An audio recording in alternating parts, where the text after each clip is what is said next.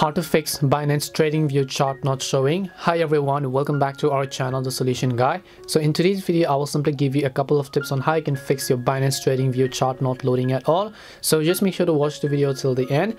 So if your trading view chart is actually not loading up on the Binance website or anywhere else, first of all, it might be that because Binance is actually updating the chart. So usually when Binance keeps updating the chart, you won't find the trading view chart anywhere else over here. You can simply go ahead and go to your spot currency or your spot trading feature and then you should be able to view this charts.